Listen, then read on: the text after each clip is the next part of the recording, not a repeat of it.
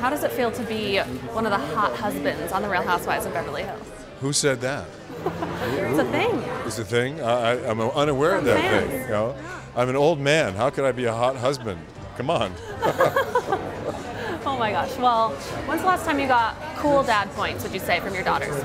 Uh, yesterday, yeah, I helped my, my, uh, my daughter Delilah put up a bunch of really cool Marilyn Monroe prints in her apartment, and I got cool, Dad. Yeah, she even put a tattoo. So I said, I saw that she got a couple little tattoos, and I said, I said, darling, if you get another tattoo, it better say I love my dad. Well, within 24 hours, she has "I love my dad" on her left foot. So Are you there serious? I'm serious. Oh my god. Your daughters are obviously very artistic, creative. They You're- are. You're about to be an empty nester, is that right? Uh, yes, um, we're on the verge of being empty nesters. Gosh, Indeed. Yeah. How do you how do you feel about it? How do you prepare for that? Well, when my kids were born, um, before they were born, in fact, I, I, I actually swore to the unborn fetuses that I would never leave home until they left home.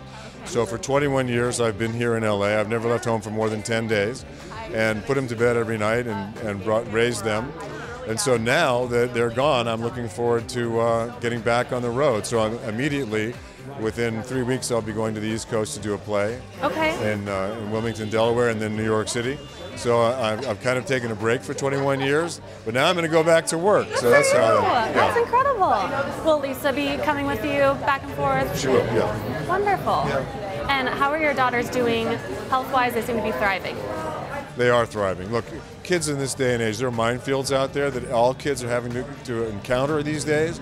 My kids have been able to deal with those minefields in a way that I'm so proud of them. They, they've come out, they've, they've talked about the issues that they've had to deal with, and they've dealt with them, and now they're, you know, they're clear.